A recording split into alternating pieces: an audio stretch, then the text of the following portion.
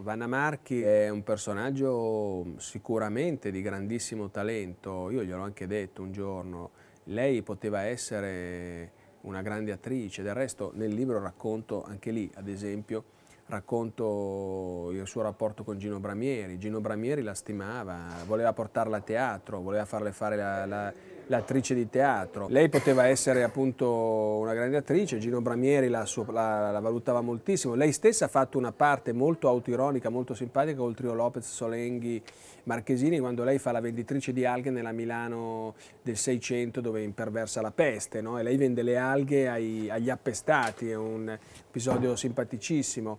Ho trovato il copione di un film che voleva farle fare Bevilacqua, un film, devo dire, peraltro piuttosto sconclusionato e sgangherato, dove lei doveva fare lavandissima, no? eh, una storia di sesso, una cosa molto, insomma, mo, mo, molto campata per aria. Ho trovato le, le, interviste che lei ha dato a grandi personaggi, grandi giornalisti appunto negli anni Ottanta. No?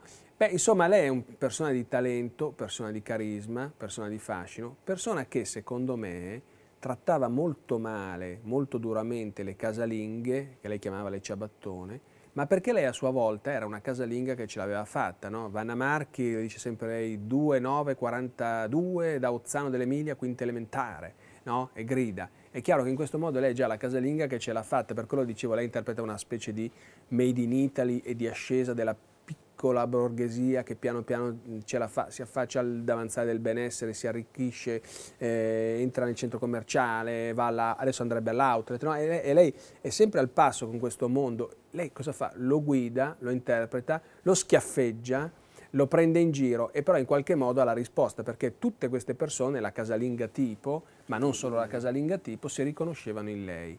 È chiaro che qui c'è un fenomeno di identificazione che solo un personaggio di grande talento, di grande carisma, di grande fascino può avere, perché chiunque può andare in televisione e dire quello che vuole, ma non fa nessun effetto, non ottiene nessuna comunicazione. Invece lei la otteneva, aveva dei riscontri impressionanti e, come dire, il, il, il, pubblico le ha sempre dato ragione, perché poi io l'ho documentato nel libro, a Ozzano, quando lei vendeva i suoi prodotti, avevano dovuto modificare l'ufficio postale di Ozzano perché solo i pacchi che lei mandava in giro per l'Italia aveva intasato questo ufficio postale e hanno dovuto chiedere i rinforzi a tutti. Il personaggio poi è un personaggio appunto molto duro, eh, molto, molto, romagnolo, anche molto eccessivo, cioè romagnolo emiliano, insomma emiliano romagnolo, non so bene Ozzano, comunque insomma, siamo vicino Bologna, vicino Imola, quindi emiliano, credo, eh, non so le distinzioni lì dove finisce l'Emilia, dove comincia la Romagna, non ho mai capito bene è però un personaggio molto forte, molto, mo, che colpisce moltissimo.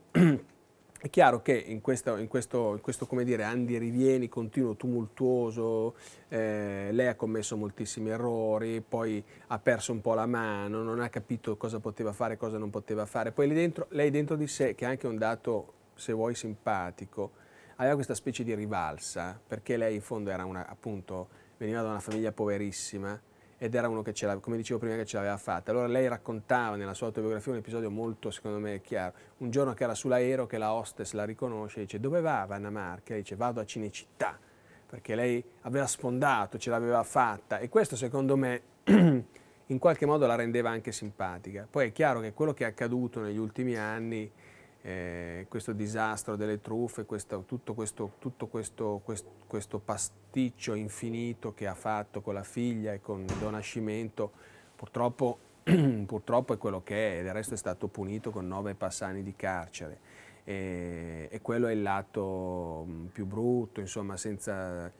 Eh, c'è poco da aggiungere, insomma, sono state decine di truffe, io ho visto persone disfatte, matrimoni disfasciati, padri contro figli, lacrime, pianti, malattie, speculazioni orrende su, su, su disgrazie, su malattie. Eh, questo è, è l'altro lato, insomma, il lato peccato, perché ripeto, lei, aveva, lei insomma, era una figura che funzionava in televisione, capace di coinvolgere, capace di convincere, capace di trascinarsi dietro migliaia e migliaia di persone.